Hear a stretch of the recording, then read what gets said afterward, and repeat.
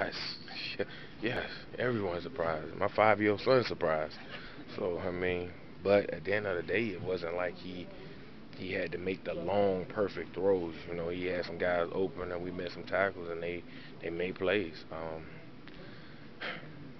just gotta play better, man. Just, just feel like I said, it's just frustrating. Um, uh, I think he did a pretty good job of staying with it. You know, um, believing in his guys um, to get open when they needed to. You know, they, they had a pretty good game plan um, towards us. They did a couple things that we haven't seen on film.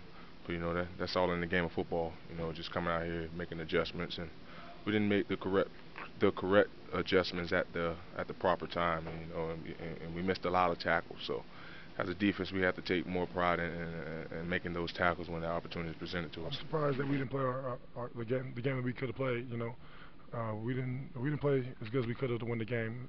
Uh, San Francisco played much better. You know, but uh, I mean, we got to figure out what we can do to you know bounce back because you know, I mean, there's a lot of season left. You know, and, and all that matters is the next game and keeping your head up and keep balling and uh, you know figuring out what we can do to, to uh, help win games.